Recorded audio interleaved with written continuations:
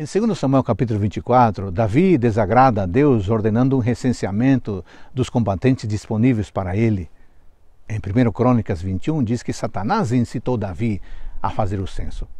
Davi talvez estivesse agindo com orgulho para poder se vangloriar do tamanho do seu exército, não confiando em Deus. Uma peste atinge Israel, até que Davi constrói um altar e sacrifica as ofertas perante o Senhor. E chamo a sua atenção para o verso 4. Muitas são as misericórdias de Deus. O levantamento do censo foi uma manifestação do orgulho de Davi. Ele queria conhecer o, o poderio militar de seu exército.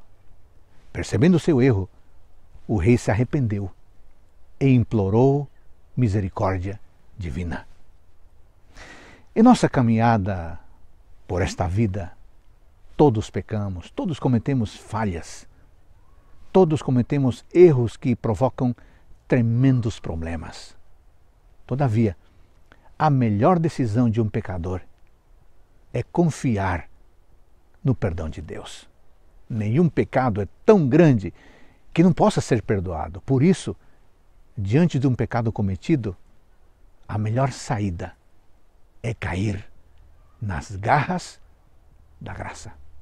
Bom, e assim terminamos o livro de 2 Samuel, segundo livro de Samuel. Muito obrigado por me acompanhar todos os dias neste resumo, neste pequeno resumo, comentário do capítulo do dia do Reavivados por Sua Palavra. Lembre, o mais importante é que você leia a Bíblia e que você ouça a voz de Deus. E depois você pode então, então assistir este vídeo, que é um resumo daquilo que o texto do dia apresenta. Mais uma vez, obrigado por me acompanhar e por me ajudar a espalhar em todos os lugares a palavra de Deus. Você me permite orar agora? Obrigado, nosso Deus, porque estamos encerrando o estudo do livro de 2 Samuel. Obrigado pelas histórias e pelo aprendizado.